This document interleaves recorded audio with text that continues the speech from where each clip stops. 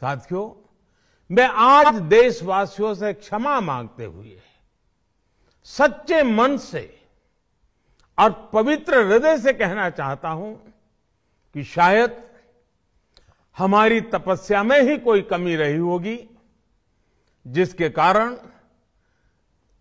दिए के प्रकाश जैसा सत्य कुछ किसान भाइयों को हम समझा नहीं पाए। आज गुरु नानक देव जी का पवित्र प्रकाश पर्व है।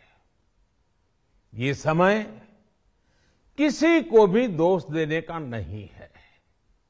आज मैं आपको, पूरे देश को ये बताने आया हूँ कि हमने तीन कृषि कानूनों को वापस लेने का, रिपील करने का निर्णय लिया है।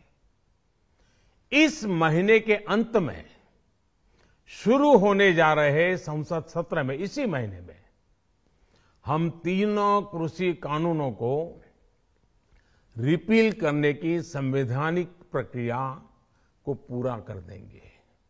साथियों, मैं आज अपने सभी आंदोलनरत किसान साथियों से आग्रह कर रहा हूँ, आज गुरु पर्व का पवित्र दिन है।